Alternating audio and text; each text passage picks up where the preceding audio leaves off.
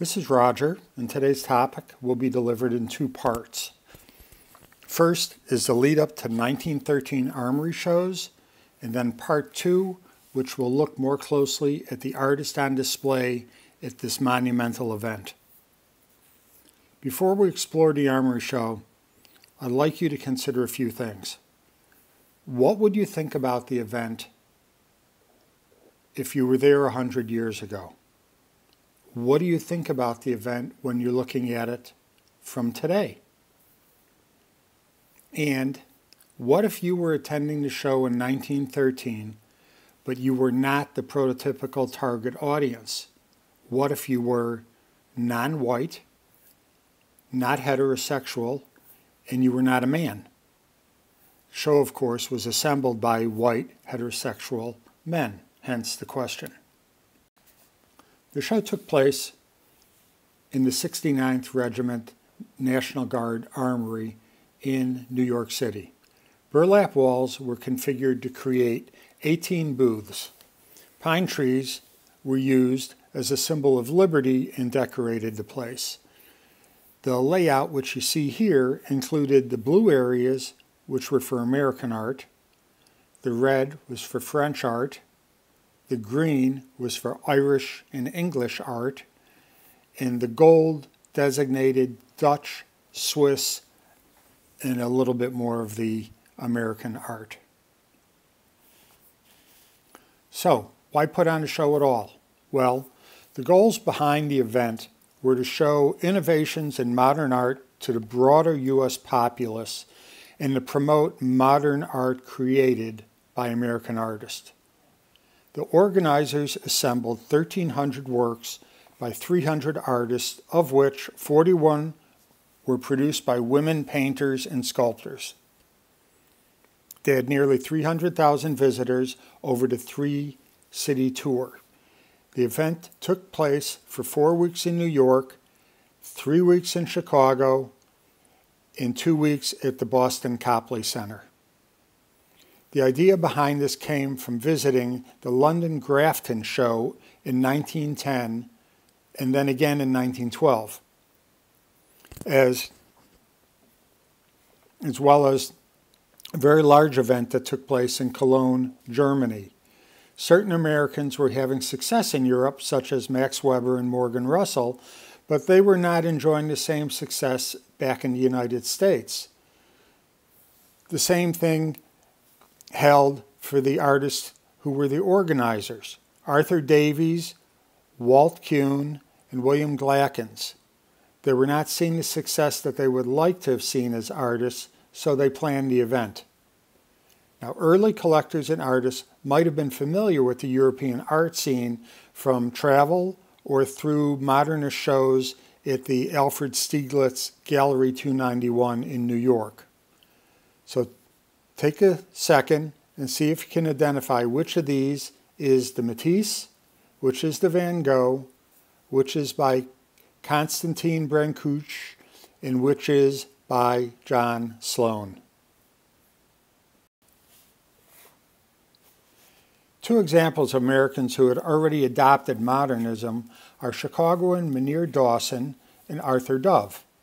Art historian J.M. Mancini has posed that modernism in America had begun developing in the 1870s and 1880s, primarily as a result of new publications covering art, new art criticism, and also via new museums that were being built.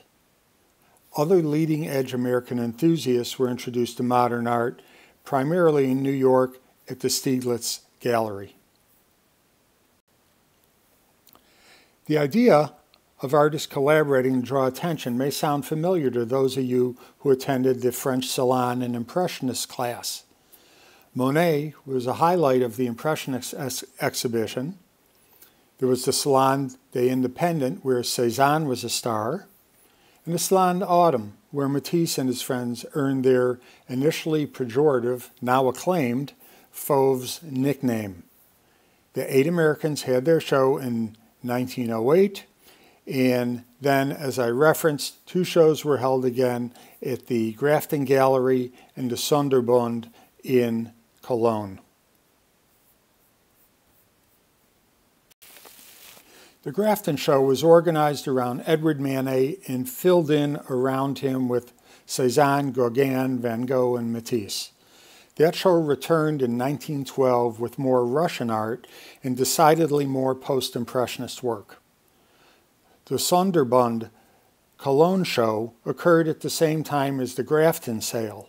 On the right, you can see the Munch lithograph in the upper corner. They were promoting quite a lot of Van Gogh and quite a few Ernst Kirchners, who you will see in the lower panel also. So the question came up as I was looking at this topic, how do you borrow that amount of artwork? It turns out that Walt Kuhn, Arthur Davies, and Walter Pach were the ones that assembled the European artworks. Kuhn traveled to The Hague, which is where he decided upon the idea to promote Odilon Redon, an artist we'll spend more time on next uh, session. Then Kuhn and he visited Berlin, and next they went to Cologne just as the German show was wrapping up. He then met up with Davies and Kuhn in Paris, where they were all able to meet artists, including Constantin Brancusi, the Duchamp Villon brothers, that's Marcel Duchamp, Jacques Villon, and Raymond Duchamp Villon. And the group also met major dealers such as Bernheim Jeune, Druet, and Vollard. While Kuhn finalized the deals in Paris, Davies and Pach went to London. They caught the end of the Grafton show and decided to heavily promote Matisse. They directed Kuhn to assemble more Matisses before leaving Europe.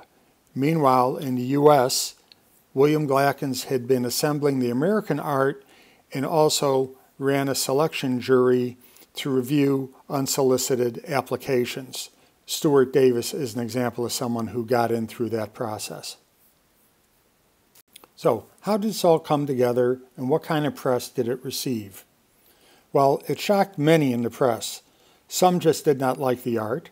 For others, they may have been frustrated that they could not understand some of it, so they weren't altogether negative, but they were not completely behind it because it just didn't make sense to them at the time.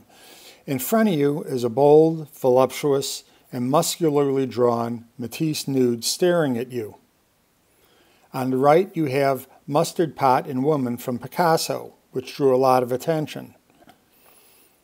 Then you have the Gauguin, Flowers and Vase, in the middle, where he sculpted the vase as a head.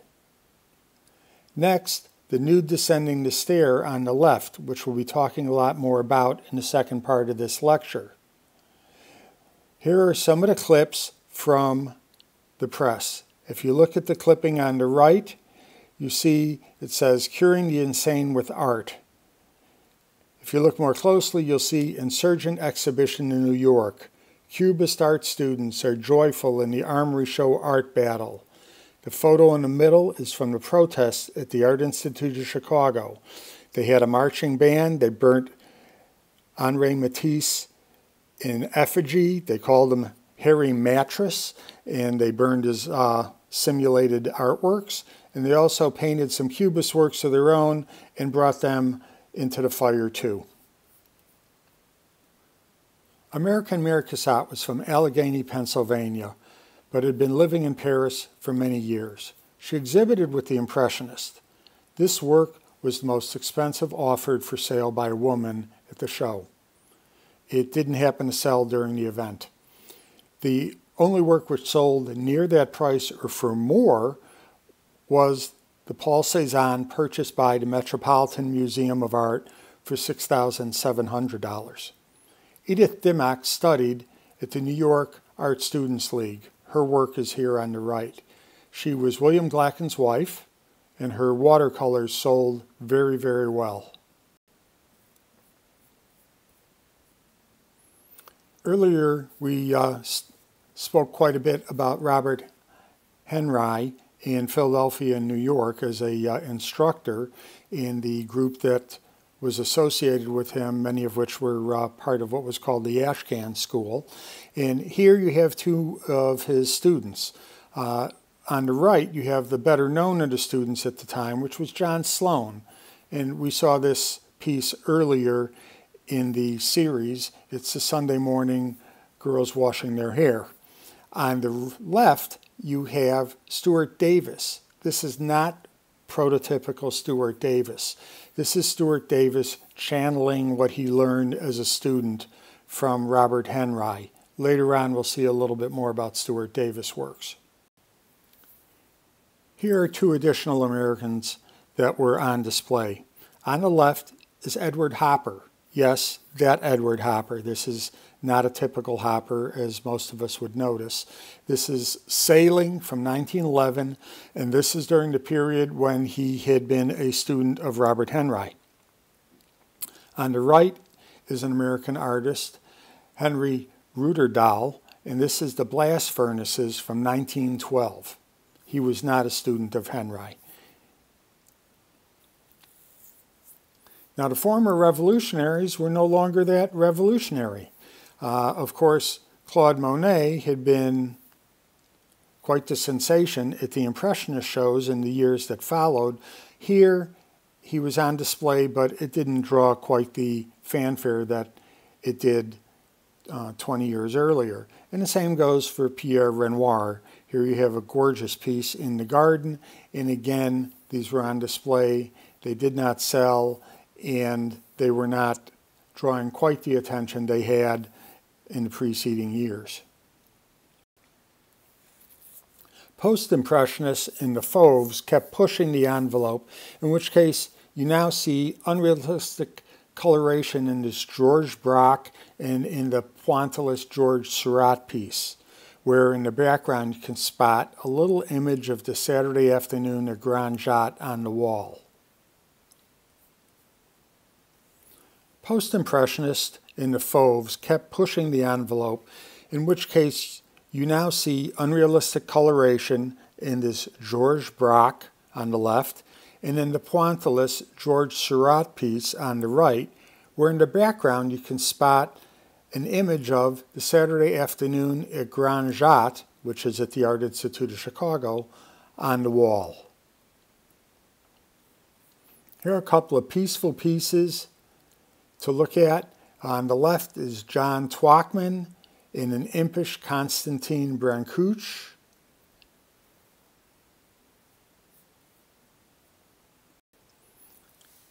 And here are some questions to contemplate when we get ready for our call.